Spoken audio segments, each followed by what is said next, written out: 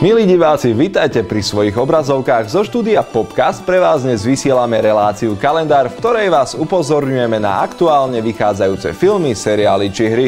Tak poďme na to. 19.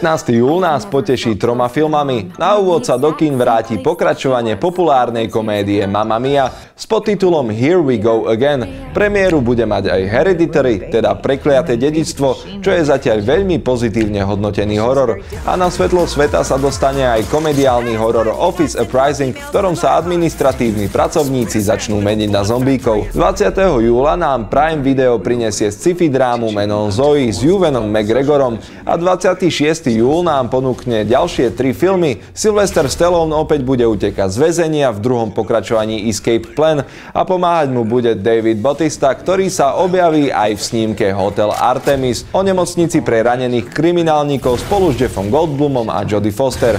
Posledným filmom na 26.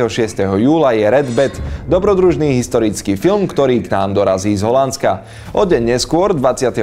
júla, Netflix uverejní snímku Extinction o chlapovi, ktorý máva strašné nočné mori a zistí, že sú to vlastne vízie budúcnosti a budú tam aj mimozemšťania.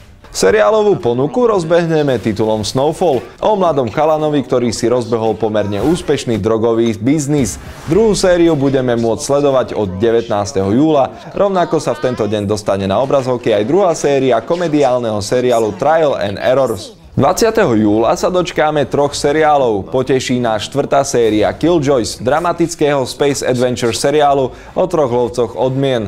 Cinemax nám prinesie druhú sériu svojho originálneho hororového seriálu Outcast a Winona Earp, ktorá bojuje proti revenantom a podobným nadprirodzeným silám sa vráti v tretej sérii rovnomenného hororového seriálu. Od 25.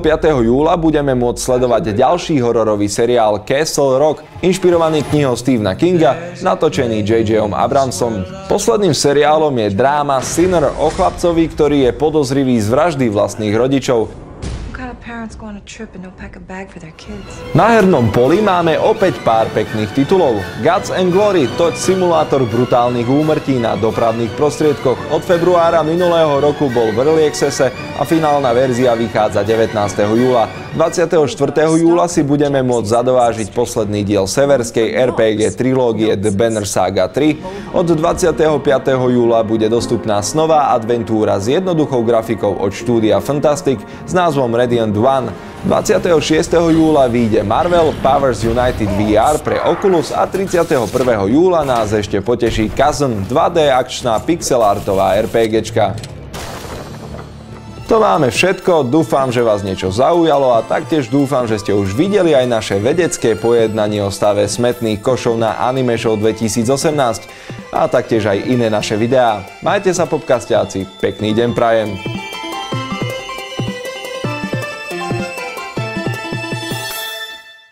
Prosím vás, ak niekto z vás stretne Mareka, tak povedzte tomu vzdelanému človeku, ktorý si o sebe myslí, že je neviem aký fušer a v skutočnosti je iba obyčajný profesionál, že všetci dobre vieme, že tieto potitulkové scény slúžia na to, aby vedľa mňa boli videá, na ktoré môžete kliknúť. Po prípade, aby som mal čas presvedčiť z vás na to, aby ste zdieľali náš kanál a podobné hlúposti. Odkážte mu to, prosím.